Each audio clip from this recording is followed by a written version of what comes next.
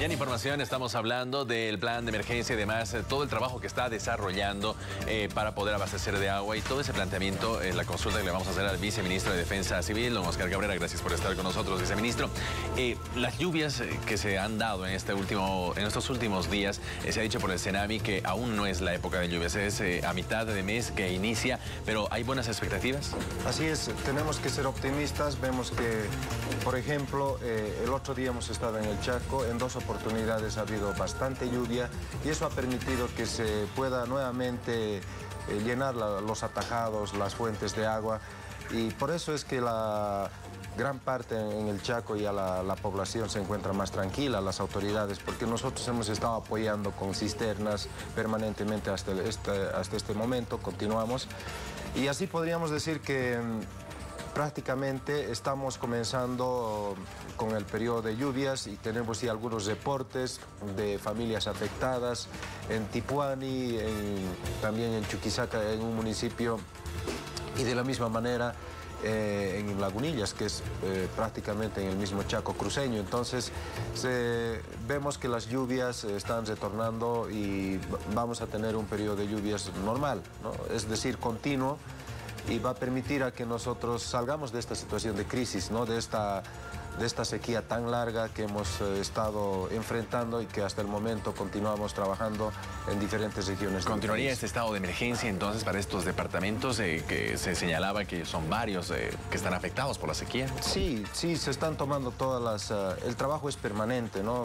Decíamos acá, por ejemplo, en, el en la ciudad de La Paz, es el gabinete de aguas el que está a la cabeza del Ministerio de la Presidencia que hace toda la la atención con la distribución del agua, pero también tenemos otras regiones que nosotros estamos apoyando, como en el, en el Chaco, le decía Chaco Cruceño, Chaco Chuquisaqueño e inclusive Villamontes, que es parte de Tarija.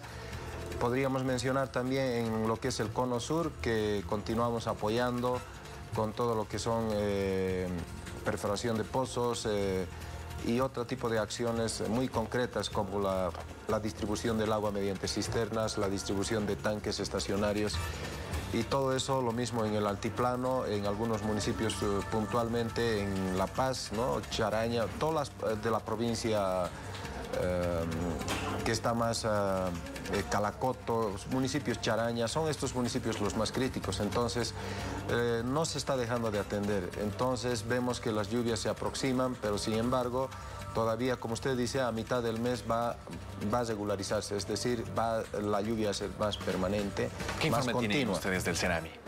Eso es la información, que vamos a tener eh, este periodo de lluvias eh, condiciones normales y en este mes de diciembre eh, con un ligero déficit en la parte del altiplano, la parte sudoeste que puede ser Potosí o Oruro, pero sin embargo nosotros estamos tomando todas las previsiones también para seguir apoyando. Es decir, todo lo que es la parte de los llanos, ¿no? Oriente, Amazónico y Chaco, vamos a tener condiciones de lluvia permanente en todo este periodo, desde diciembre y vamos a hacer un seguimiento. Por eso es que la preocupación tiene que ser menos, las atenciones para la sequía se va a ir reduciendo.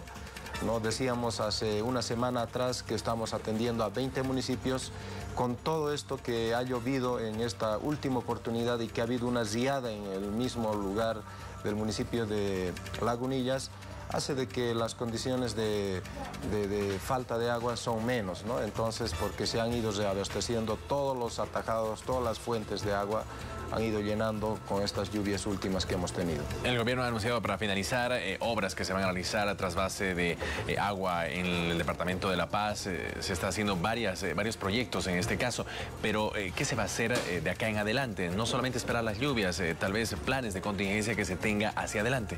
Sí, lo que se se está haciendo son las acciones a corto plazo, los trasvases para poder garantizar el agua para la ciudad de La Paz.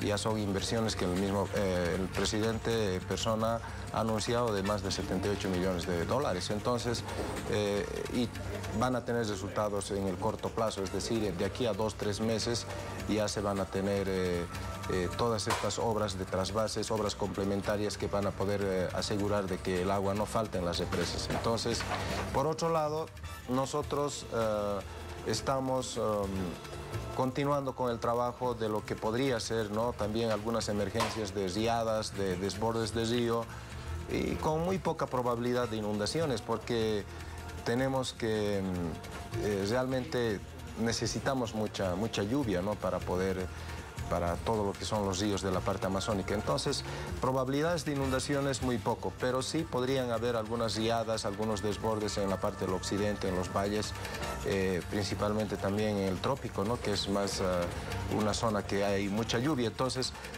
estamos viendo todos esos aspectos, estamos preparándonos ya un plan de contingencia que podría ser... Mm, que podría enfrentar ¿no? Esta, este, este periodo de lluvias desde diciembre hasta el mes de marzo, que es eh, el periodo de lluvias que vamos a tener que enfrentar ¿no? con algunas emergencias. Hasta el momento tenemos como 550 ah, familias que han sido afectadas en Tipuani, en Mojocoya, Chuquisaca y en el municipio de, de Lagunilla, Santa Cruz. Viceministro, gracias por acompañarnos en esta entrevista. Muy buenos días. Gracias, gracias a usted, pues gracias. Que le vaya muy bien. Bueno, vamos a cambiar.